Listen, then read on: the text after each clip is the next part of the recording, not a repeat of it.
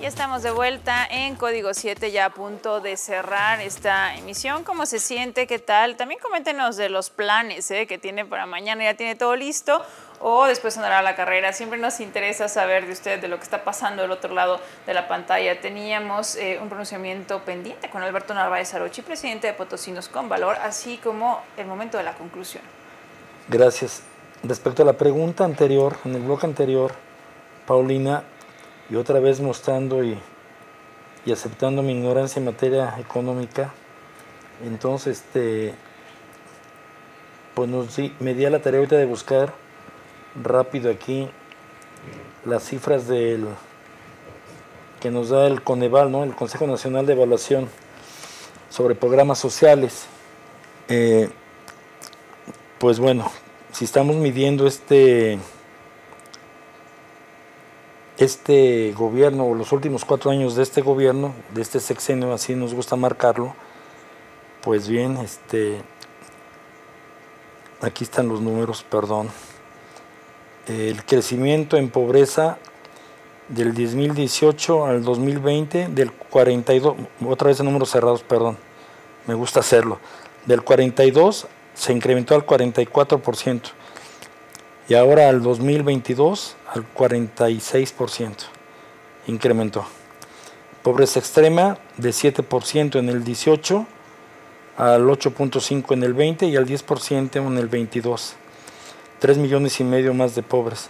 Estas cifras eh, que nos dice la Coneval, la ratifica la CEPAL, la Comisión Económica para América Latina, y los números son coincidentes, entonces pues no solamente, digo, son instituciones independientes, autónomas, una nacional y la otra internacional sobre América Latina.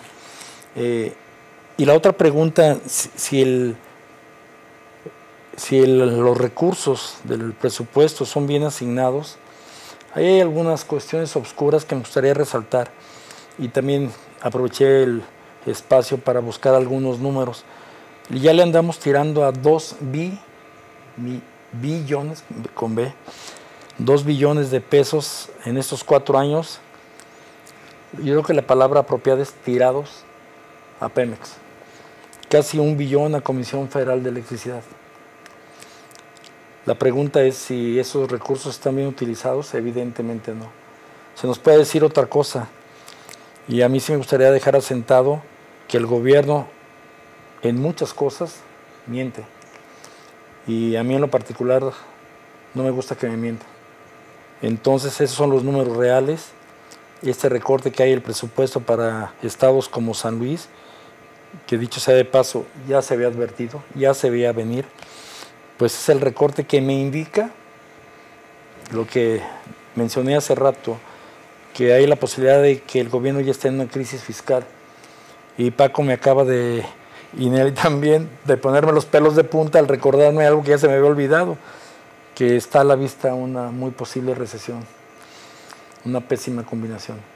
Ojalá y, me equivoque, ojalá no acierte ninguna de las cosas que he mencionado aquí, pero el peligro ahí está y hay que decirlo. Sí ha habido eventos internacionales, la propia pandemia, esta inflación que también es internacional, la manera es cómo la hemos enfrentado no la hemos enfrentado adecuadamente. Lilianelli Anguiano Rodríguez, eh, presidente de la Asociación de Ejecutivos de la Gestión del Talento Humano en San Luis Potosí. Conclusiones en Código 7.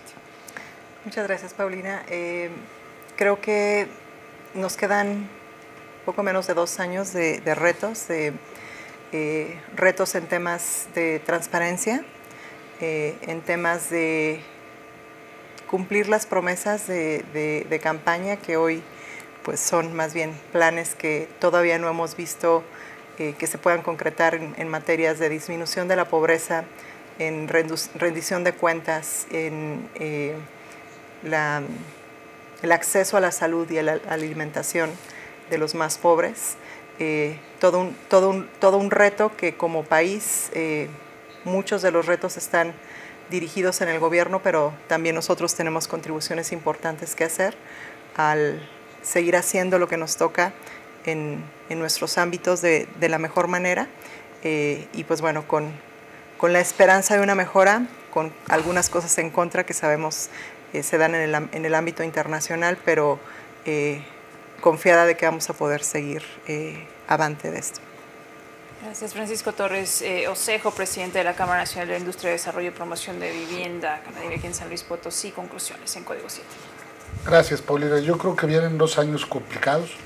Eh, ya sabemos que el gobierno federal está metiendo todos los recursos al sureste del país y tenemos que liar con eso, ¿no? Tenemos que unir fuerzas. Este, estoy convencido que San Luis Potosí va a salir adelante con la creatividad del señor gobernador de ver cómo hacer las cosas y con las ganas de, meterle al Estado mucho dinero en infraestructura, vamos a lograr un crecimiento mayor por la media de la media de, de, del país.